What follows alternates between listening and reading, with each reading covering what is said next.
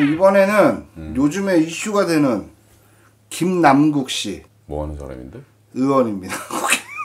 1982년 어떤 나이도 젊네. 10월 22일인데 시끄러워야지. 굉장히 안 좋을 텐데 그 친구는. 아, 지금 음, 그래서 그런지 코인을 하다 걸렸는데 걸려? 머리가 되게 좋을 사람인데 걸려? 그게 완전 범죄 같은 건 없는가 보지. 무덤 파야지. 아니 자기 스스로 이제 장기 부리다가 어떻게 보면 걸린 형국일 거고 그러다 보면은 뭐 소속 당에 어디에 소속돼 있는지는 모르겠지만 국민의힘은 괜찮겠지만 반대되는 민주당이다 그러면은 거의 뭐 털고 털고 털고 그러다 보면 뭐 구속까지 되지 않겠어. 아 구속될 수 있다. 그 친구의 운세가 그러지. 그러니까 이런 게 그런 거야. 헛똑똑하다는 거, 헛똑똑하다고.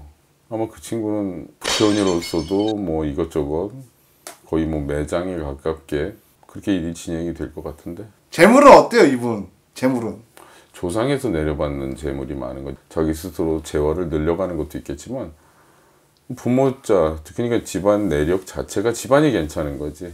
그냥 부모 뭐 대대손손 유산 같이 이렇게 내려오는 그런 목소리. 뭐 국회의원 왜 했는지 모르겠네. 이슈되고 그렇게 시끄럽게 그냥 분화 축적하고 그러고 살지. 아무튼 그 친구는 아마 구속까지 보여줘.